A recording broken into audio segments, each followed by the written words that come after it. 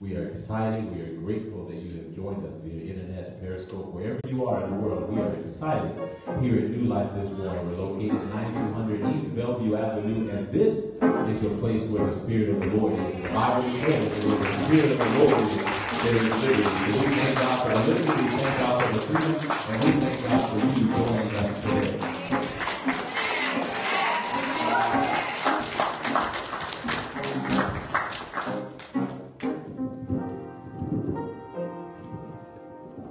Good morning, New Life, and those of you visiting us from Periscope.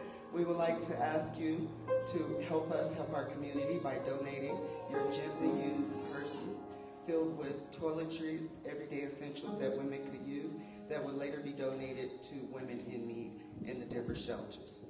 Men can also purchase toiletries to be donated. Thank you. Purses with purpose. God bless you for that. Thank you so much. And, uh,